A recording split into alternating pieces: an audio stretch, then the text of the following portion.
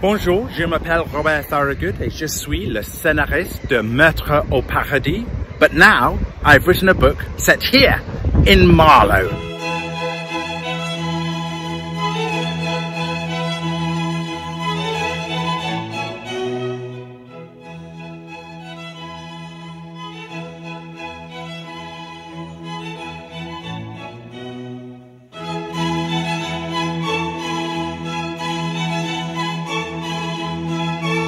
This is my hometown.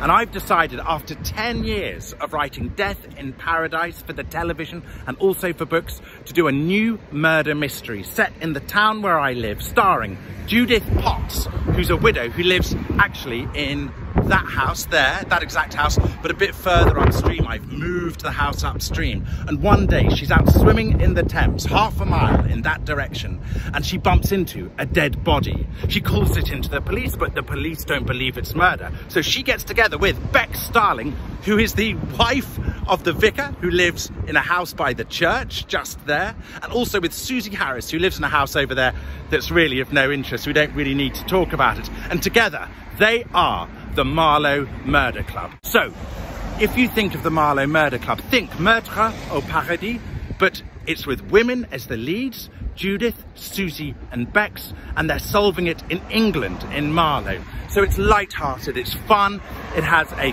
cast of suspects, one of whom is the killer, and you read the whole book and right at the end you find out who the killer is, just like with Agatha Christie, just like with Death in Paradise, and above all else, it is supposed to be entertaining and escapism in these terrible, terrible times. Anyway, merci beaucoup uh, d'avoir regardé, et au revoir.